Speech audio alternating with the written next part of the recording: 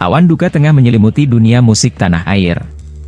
Pemain suling sekaligus pengisi lagu Lesti Kejora, Tikno, meninggal dunia hari ini, Senin, 19 Juni 2023. Kabar duka tersebut disampaikan oleh musisi sekaligus produser musik Adibal Sahrul melalui unggahan di akun Instagram pribadinya. Ia membagikan ungkapan duka dan cuplikan tiupan suling yang mengisi lagu Lesti Kejora yang berjudul, Kulepas Dengan Ikhlas. Ini adalah salah satu tiupan permainan suling Mas Tikno Suling Tikno, Suling, Kulepas dengan Ikhlas, Lesti Kejora Yutor, 85, tulis Adibal pada unggahannya. Musisi itu melanjutkan, beliau sangat berdedikasi dan partner YG sangat baik dan disiplin dalam bekerja sama. Selamat jalan mas. Semoga husnul khotimah dan semua kebaikan dan amal ibadahmu diterima Allah.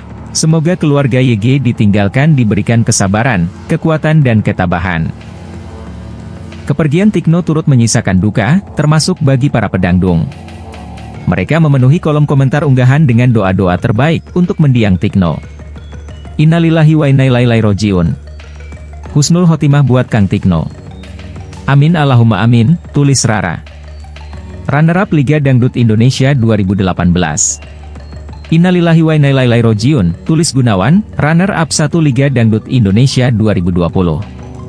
Innalillahi wa inna ilaihi rojiun, tulis Rani, finalis 4 besar di Akademi 3, Innalillahi wa innalillahi rojiun, tulis Ligia Rizkia, Pedangdut Jebolan Lida 2021. Lagu bertajuk Kulepas dengan ikhlas diciptakan oleh Adibal Sahrul. Lagu ini diciptakan berawal dari rasa simpati Adibal terhadap Lesti yang hadir di acara pernikahan mantan kekasihnya, Rizkida. Lagu ini ditulis selama satu jam pada 17 Juli 2020 saat melihat unggahan Lesti menghadiri pernikahan Rizky Da di media sosial. Lagu tersebut dirilis tepat di hari ulang tahun Lesti, 5 Agustus 2020, dipublikasikan di kanal YouTube, 3D Entertainment.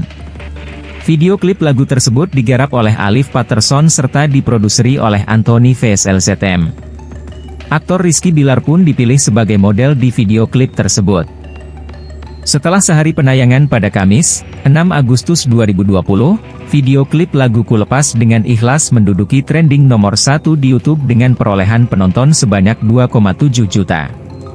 Selama sepekan video musik tersebut telah ditonton lebih dari 21 juta penonton. Lagu Kulepas dengan ikhlas ini sudah mencapai 10 juta penayangan dalam dua hari dan menjadi trending topik peringkat satu di Indonesia. Juga negara lainnya seperti Hong Kong yang meraih peringkat 4, Singapura yang meraih peringkat 10, Taiwan yang meraih peringkat 14, Malaysia yang meraih peringkat 21 dan meraih trending topik dunia peringkat 18.